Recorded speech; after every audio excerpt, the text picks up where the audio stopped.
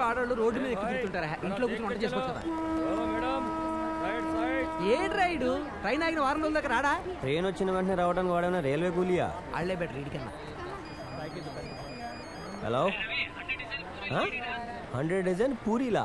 ఓరి నీ అబ్బా నేను చెప్పిన హండ్రెడ్ డిజైన్ శారీలు రా. రేయ్ శారీకి పూరికి తేడా తెలియని అసలు పీజీ ఎలా పాసారు నువ్వు? పైగా హండ్రెడ్ డిజైన్స్ అంట. పైగా హండ్రెడ్ డిజైన్స్ అంట?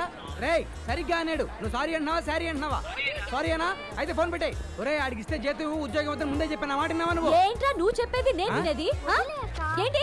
అరే మనల్ని చూస్తున్నారే. అందరూ చూస్తున్నారు కదేగా వీళ్ళ కావాలని డాష్ ఇచ్చాడు ఎరా నిజమే కాదా? చెప్పరా ఇదే.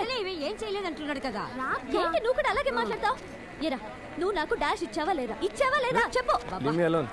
అరే ఇట్ జస్ట్ హ్యాపెండ్ అబ్బా వీడి మొహానికి ఇంగ్లీష్ ఒకటి.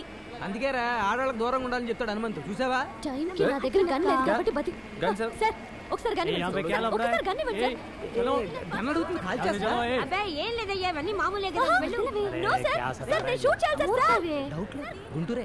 గుంటూరు ఏంటి గుంటూరు లేడీస్ అంతేరా? సేమ్ టైప్ అని తెలుసున్నట్టే మాట్లాడతావా నువ్వు మేధావులు ఈ ప్రపంచం ఎప్పుడు గుర్తుంది మేధావి. యా. నువ్వు. యా ఏం మాట్లాడుతున్నావ్? అందుకే అంటా నేను అసలు ఆడవాళ్ళకి దూరంగా ఉండాలని.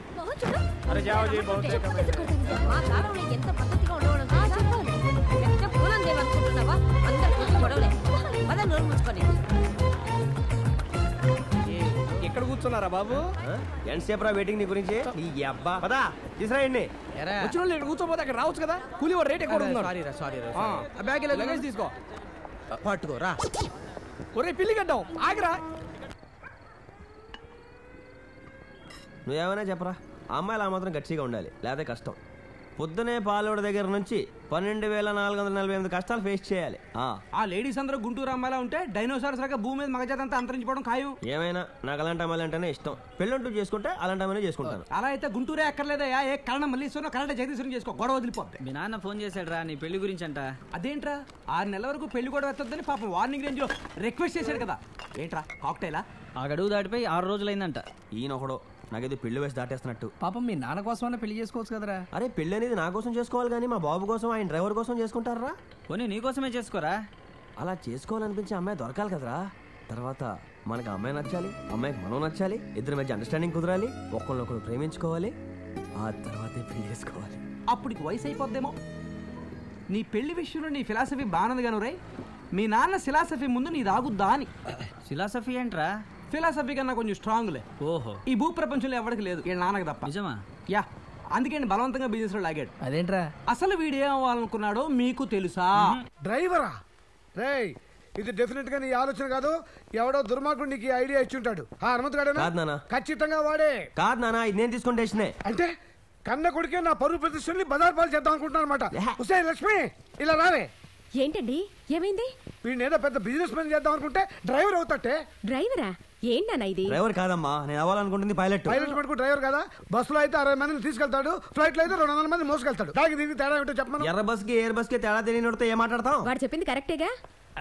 అది కాదురా నాన్న. మరేంటి? జీవితంలో జీతం ఉద్యోగం ఉండకూడదనే కదా నేను ఇంత సంపాదించాను. అమితాబ్ బచ్చన్ కొడుకు యాక్టర్ అయ్యాడు కానీ డాక్టర్ అవ్వలేదు కదా. అందుకని నా మాట విని మన కళాంజలి షోరూమ్ చూసుకో. అదినే జరిగింది. అలా వారం రోజులు కామెడీగా ఎమోషనల్గా సెంటిమెంట్గా ఈ నాన్న వాయించాడు. పాప మనోడు బెండ్ అయిపోయాడు బిజినెస్ సెటిల్ అయిపోయాడు. నేను పైలట్ కాకపోవచ్చు. ఫ్లైయింగ్ నేర్చున్నానా లేదా?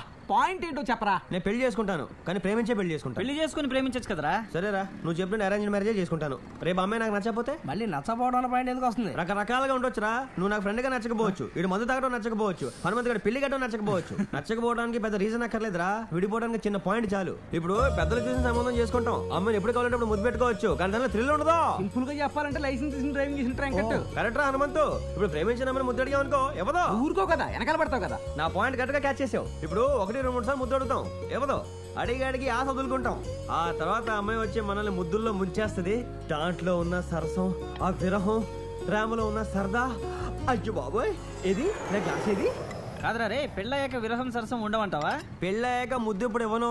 రేపిస్తాను ఎల్లుండిస్తానంటే విడాకులు ఇస్తారు. అందుకే నేను ప్రేమించే పెళ్ళి చేసుకుంటాను. నీ ఇష్టం వచ్చిన చేసుకోవాలి నాకే అభ్యంతరం లేదు. కానీ గుంటూరు అమ్మాయి మాత్రం ప్రేమించుకోరా ఆడ కోపం వస్తుంటే గన్ అంటారు లేదంటే చెప్పు